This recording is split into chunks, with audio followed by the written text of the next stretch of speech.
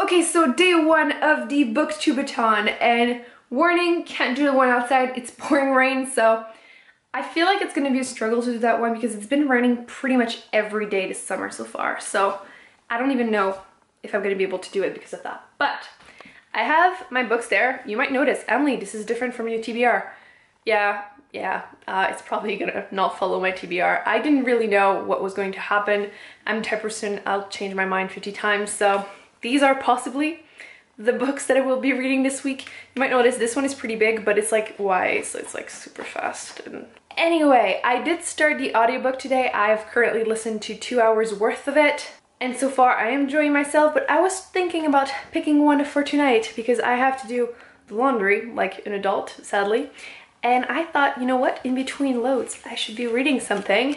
So, I think I might try the smell of other people's houses because that would be way too fitting. But hopefully enjoy it. I know this one is more like a contemporary and I've been a little bit in a slump even though I've been reading consistently.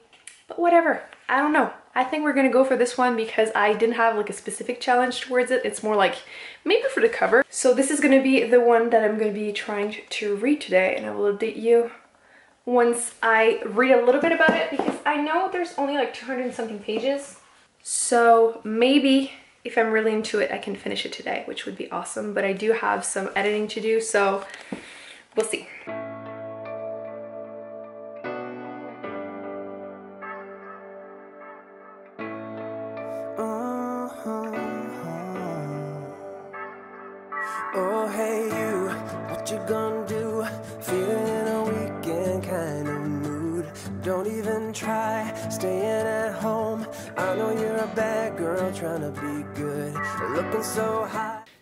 Thought I would update you here because why not? My camera's already all set up. So I am currently at the end of day one ish. I don't think I'm going to do much more reading tonight because I do have some videos to edit. So I'm currently at page 108. I don't think you're going to really be able to see that. Basically, you're just following the life of a couple people that live in Alaska, which the author is from, which I thought was uh, quite nice. It's a very slow-paced, character-driven type of story. The writing is beautiful, and so far I am enjoying myself. So I'm like pretty much halfway through this. And then I was listening to the audiobook throughout the day, and I'm currently at 2 hours, 13 minutes, and 50 seconds. So overall, not bad for first day. I didn't finish any book on the first day, but wasn't really expecting to, wasn't really trying to. I still have the other ones, but I feel like it's more during the weekend that I might be able to finish a book in one day unless like I really focus on that one day. Anyway, not bad for the first day.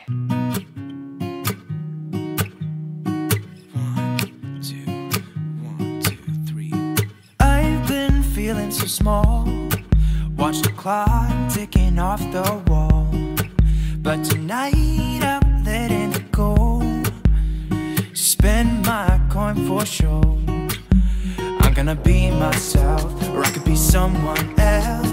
No one's stopping me now. I'm gonna skip my breaks. I'm gonna make mistakes. I just wanna feel alive.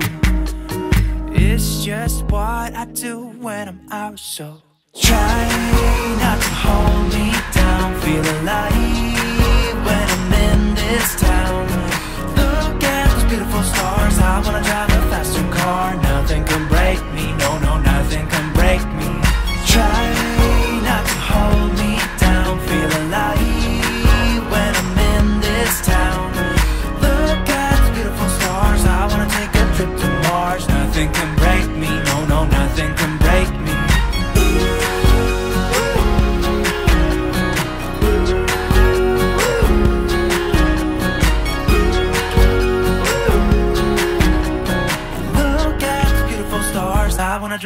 faster car.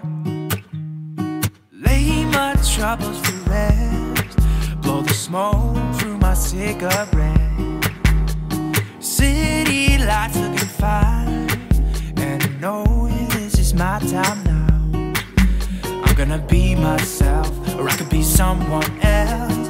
No one's stopping me now. I'm gonna skip my breaks. I'm gonna make mistakes. Feel alive. It's just what I do. Day two, as you kind of saw already, was kind of busy. I had really fun going to see that exposition of like plant flowers and it was really nice. It was sunny. It was time to just enjoy it because it's been raining every single day. But that means I didn't do that much reading up until I got home and I finished my first book. Yay! So uh, this one has 225, I think, pages. 20, 23.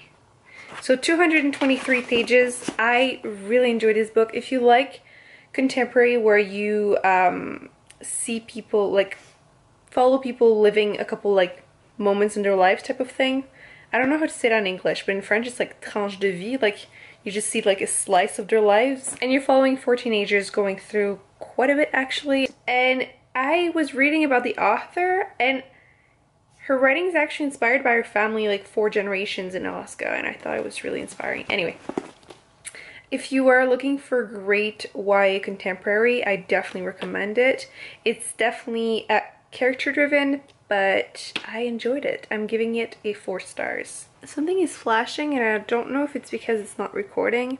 I'm freaking out a little. As for the audiobook, I'm currently at four hours and eight minutes. So we're advancing, we're getting somewhere, and that's gonna be probably it for tonight. It's like 9.30 and I have to be uh, awake early tomorrow. I need to start reading a lot more because I'm supposed to be reading seven books this week, so Day two, finished one. I'm in the middle of another one, but tomorrow I need to start getting things, just taking things seriously. Like, come on, Emily, you didn't do well in your last readathon. This time, it is time. I need to. I'll see you tomorrow. Day three, I wanted to update you on my reading slash show you what I'm planning on reading in next and then just, you know, advancing because we're day three and I'm very far behind. I actually, I did finish one book and I am at like four hours in my audiobook, so it's not that bad. But before I continue, I wanted to talk about uh, something. Yesterday I uploaded my July wrap up, basically talking about the books that I've read so far this month because I wanted to keep that readathon on its own because hopefully I'll read seven books and then it would be 17 books to try and like condense in one video. and It would just be ridiculous. And in that video, I was talking about a lot of like unpopular opinions, some of them being about uh, popular YA books that are new, which usually can be controversial, but even if people dislike my review, they might dislike the video, but there's never like hate.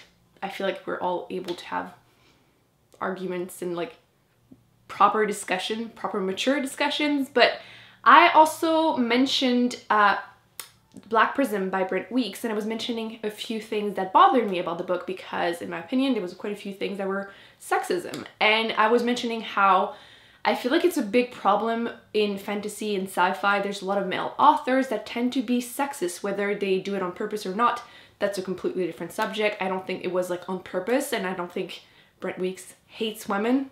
Like not everyone will read a book and find it sexist that's fine. But I was just mentioning a few examples and I have so many more. Like just today I was talking about it to a friend and she reminded me of one scene where the kid, like Kip, he's 15 and he's like fat and insecure, which is a little bit annoying to read, but you know, I'm assuming he's gonna grow throughout the series. And he's pretty horny, like he's always talking about boobs. That's one of the things I was complaining about. And at one point in like a big battle, he accidentally falls face first into cleavage of a female fighter. That added so much substance to the story and like so like it's the type of little things like that that just accumulated and I was like okay was that necessary? Or like if it had just been that I would have been like okay. But it was like that added with all the other things that ends up being like or like even when the main character the female character she spends half the book. Like I know she was captured and forced to wear like a specific dress that is like pretty like skimpy. And she spends half the book in a big battle fighting half naked. And again, fine, I guess it's part of the story, but it's just like, was that necessary? I don't know. I don't know. The thing is, I was pretty disgusted by the response. And not only the responses, but the way it was argued in the comments. I feel like it just, as soon as you mention sexism, it just tends to bring the worst from some people. And I don't understand why, because I think we can all say that like very often is just not necessary. I don't consider it being like natural and that we should just live with it or I should avoid reading male author's book if that's gonna upset me. I just think it's ridiculous, like the way it was argued. Anyway, I don't want to really go into more details. If you want to see this, you can go go watch the video. I just think it's ridiculous that we're in 2017 and that it's still such a big issue. And I feel like the community has been really good about uh, mentioning when a book is racist. Like there was a few uh, YA books that came out recently that a few people started mentioning that they liked it or not. And then some people were like actually I think this is racism. I don't like this. And then people like listened to the arguments and were like you know what? Actually I agree. Let me change my review or add this blah blah blah. You can have an intelligent discussion about it but for some reason as soon as you mention sexism everyone loses their shit and I just don't understand why. Me mentioning in that video that I think is a big problem that so many male, authors again not all men have such a hard time writing complex female characters. Just ridiculous. Like i don't understand how it's so hard. Like they're able to create new magical system political system some new religion some new like everything but they draw the line at like gender equality that's just impossible to write and i'm not saying that they have to In some worlds it makes sense that there's uh, sexism that's fine but i just feel like it's way more common with male, but mostly like it doesn't bring anything, like there's no reason for it. Like there's no like anything that will improve. It's not mentioned that it's not a good thing. It's just like, it's there, deal with it, and it's just like, but yeah, I didn't really want to do a full video about it because let's be real, English is not my first language and I don't think I could argue my thoughts properly. Like I feel like I'm talking about it and it's just like a very casual thing. Like don't start like picking my words and being like, oh, you should have used that word instead because I would probably agree. If we were having this discussion in French, I would probably have a much easier time, but it doesn't matter. It's just the fact that it's 2017. It shouldn't come as a shock when women expect to be treated equally. In books, like they're freaking imaginary worlds. Like, why do they have to like, anyway, let's not go back there. Uh, let me start talking about the readathon because that's where we're here. So today I was reading in the bus my next book, which was for uh, a book, read a book with uh, someone on the cover. And I had chosen Never Let Me Go by Kazuo Ishiguro. And I was excited to read this because so many people were saying that this is just a classic. And I'm on page 30. The only thing is, let me like replay this whole scene. I'm there reading the book and I'm like, hmm, that kind of reminds me of something. I continue a little bit and I'm like, kind of really reminds me of something. Let me check when it was published. I'm like, hmm, 2005. Well, the movie I'm thinking about might have been published. I'm pretty sure it was out. I continue, I'm like, uh, I'm pretty sure I know that story. I check on my phone, I'm like, hmm, same actors I'm thinking. Oops, same story. So yeah, I am personally one of those people that I don't like to read the book half after after I have watched a movie unless I'm in the mood for it.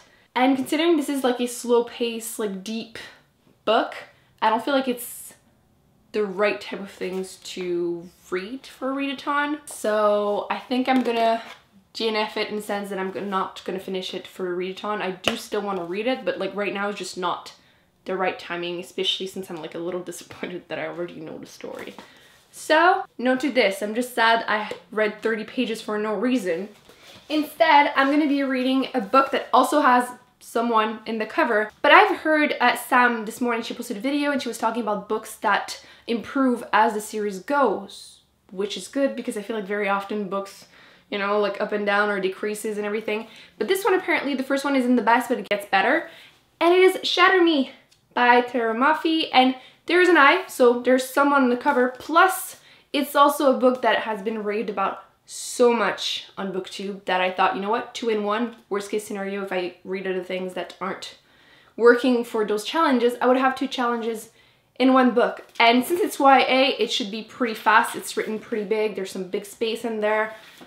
So I think I'm gonna be reading this. There's like 300 pages, but considering I've wasted 30 pages, so I'm gonna go on and start reading and I will update you when I have made some progress. So let's pretend I just didn't shower and I wanted to just update you on the book because I'm at page 101 and I had kind of forgotten what it was about. Basically following Juliette and she's been captured by the reestablishment. Kind of gave me some vibes of like 1984. It seems to be a dystopian where uh, something happens, people are dying, there's no more food, uh, basically climatic changes and there's a new government in place and it's not necessarily a very nice one. And she has that power. She touches people, she's basically torturing them, they can die from it. And that's, uh, that's it for now. 100 pages. I like the idea, I like where it might be going. Don't really like the way it's written, but since it's YA, I can see myself finishing this tomorrow. So maybe I will finish another book tomorrow. It's bad. We're the third day and I've only finished one book. I'll do better tomorrow. I will.